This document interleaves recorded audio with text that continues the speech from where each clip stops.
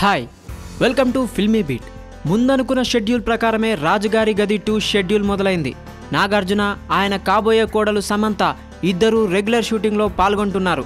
నిజానికి అక్కినేని ఫ్యామిలీలో కొద్దిపాటి డిస్టర్బెన్స్ నాగార్జునను ఇబ్బందికి గురిచేశాయని అందువల్ల రాజుగారి గది టూ షూటింగ్కి అడ్డంకులు కలిగాయని ఇటీవల ప్రచారమైంది. ముఖ్యంగా అఖిల్ మ్యారేజ్ క్యాన్సిల్ అవ్వడంతో నాగార్జున డిస్టర్బ్ కావడం దానికి తోడు ఓం నమో వెంకటేశాయ పరాజయం మరికాస్త కలతకు కారణమైంది. అందుకే కొన్ని వారాలుగా నాగార్జున షూటింగ్లో పాల్గొనడం లేదని చెప్పుకుంటున్నారు. గత కొంతకాలంగా సోషల్ మీడియాలోనూ ఆయన కనబడడం లేదు. ఏది ఏదైతేనేం?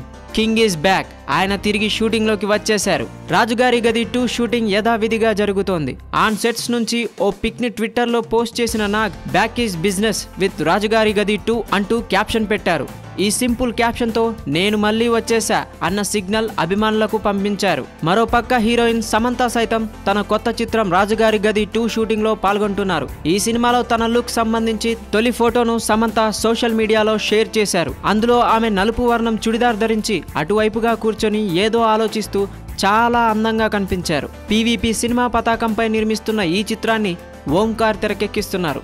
ఈ చిత్రంలో నాగార్జున ఎదుటివారి మానసిక స్థితిగతుల్ని అంచనా వేసే వ్యక్తి పాత్రలో నటిస్తున్నారు. ఈ చిత్రంలో తన లుక్కు సంబంధించిన తొలి ఫోటోను నాగార్జున సోమవారం ట్విట్టర్లో పోస్ట్ చేశారు. హర్రర్ కామెడీగా నిర్మిస్తున్న ఈ చిత్రంలో సీరత్ కపూర్ ఓ హీరోయిన్గా పాత్ర పోషిస్తున్నారు. అందుతున్న సమాచారాన్ని బట్టి ఈ చిత్రంలో నాగ్ విలక్షణంగా ఉండే గెటప్తో కనిపించనున్నారు. నాగ్ డ్రెస్సింగ్ నుంచి లుక్స్ వరకు అన్ని ట్రెండీగా ఉంటాయని చెప్తున్నారు. ఓ ఫ్యాన్సీ బైక్ పై హల్చల్ చేస్తూ ప్రేక్షకులను అలరిస్తాడని సమాచారం. ఇక నాగ్ పాత్ర విషయానికొస్తే ఈ సినిమాలో మెంటలిస్ట్గా కనిపించబోతున్నారు. అతీంద్రియ శక్తులు కలిగి ఎదుటి వ్యక్తి ఆలోచనలు ప్రవర్తనతో ఒక ఆట ఆడుకుంటారని చెప్తున్నారు. ఇక ఈ చిత్రంలో సమంత ఓ కీ రోల్ ప్లే చేస్తోంది. అయితే నాగార్జున సమంత జంటగా నటిస్తున్నారనే వార్తల్లో నిజం లేదంటున్నారు చిత్ర యూనిట్. వారిద్దరివి వేర్వేరి పాత్రలని అదే విధంగా అందరూ అనుకున్నట్టు సమంత దయ్యంగా కూడా నటించడం లేదని తేలింది. చాలా ఎమోషనల్ రోల్లో ఆమె ప్రేక్షకులను అలరించనుందని చెప్తున్నారు. నాగార్జున మరిన్ని విశేషాలు తెలియజేస్తూ